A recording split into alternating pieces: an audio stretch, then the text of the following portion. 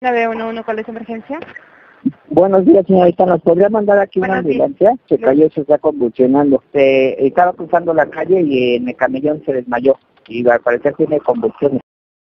Mediante una llamada al 911 de la Ciudad de México, reportan que una persona se desmayó en la vía pública. En el área de atención prehospitalaria del C5 de la Ciudad de México, se coordina de inmediato el envío de las unidades médicas y en el análisis de video observan el momento del evento. En primera instancia, arriba personal de la SSC y minutos después llega al sitio el personal médico.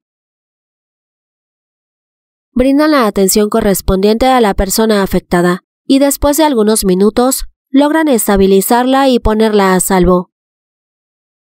Finalmente se retiran al determinar que no requiere traslado hospitalario. Esto también es el C5 de la Ciudad de México.